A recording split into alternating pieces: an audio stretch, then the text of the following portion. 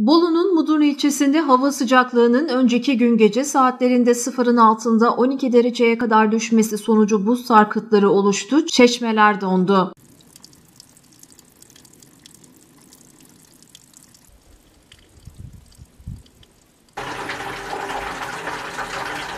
Yavaş yavaş. Ne yapıyor? İlçede 4 gündür aralıklarla devam eden kar yağışı hayatı olumsuz etkiliyor. Kar kalınlığının yer yer 40 santimetrenin üzerine çıktığı ilçede çatılarda buz sarkıtları oluşurken ev ve sokaklarda bulunan çeşmeler dondu.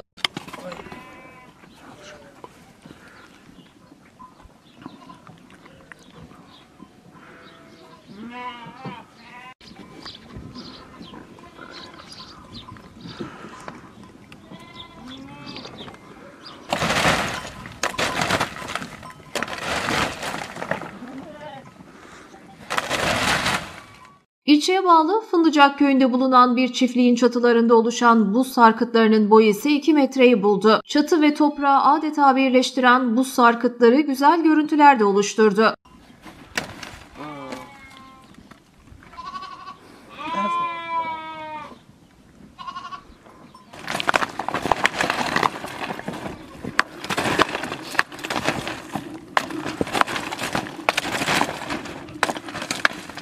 Bölgede bulunan çeşmeden su doldurmaya gelen vatandaşlar ise donan çeşmeyi çırayla ısıtarak açmaya çalıştı.